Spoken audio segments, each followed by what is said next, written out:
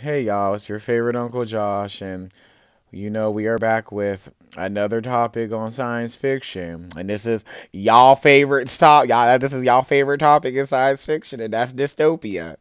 Y'all know y'all love y'all some dystopia, some science fiction, especially when there's some teenagers. Oh, teenagers in a horror, a horror future. Oh God, y'all love it. Okay, so let's talk about dystopia. So basically, y'all, dystopia is the opposite of utopia, and it's basically just like this horror post-apocalyptic version of the uh, of a world. Now, here's the thing. One of the reasons why I do feel like when it comes to speculative fiction, especially when we're talking about future, the reason why we use a dystopia is revelation. Revelation is probably the only reason why we are using dystopia for a future for um, for a setting in the future. Here's why. Because in the book of Revelation, it talks about a dystopia happening. However, y'all don't read past the dystopia because then it talks about a utopia immediately following that.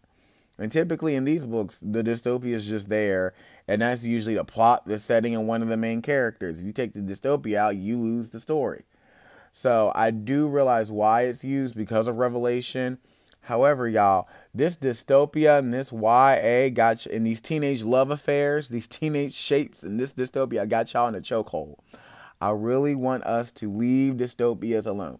Not saying they still can't be used, but let's just, you know, use utopias. You can use utopias as a plot setting. and It always ain't got to be bleak, dark, and sad and deplorable. It don't. I promise you, it don't, y'all.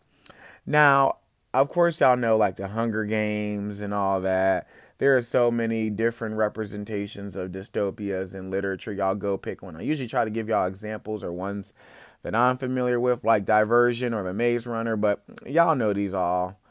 Whatever dystopia y'all like, y'all like. If you got any suggestions, leave them below. Stitch it, duet this. Tell me about a dystopia. And if you are a dystopian science fiction writer, stitch this and tell me what you're working on. Duet this, leave it in the comments so I can shout you out. Come on, we promote science fiction writers over here of all backgrounds. Okay, it's your favorite Uncle Josh, and Uncle Josh loves you. I mean, I love dystopia, but he loves you, so bye.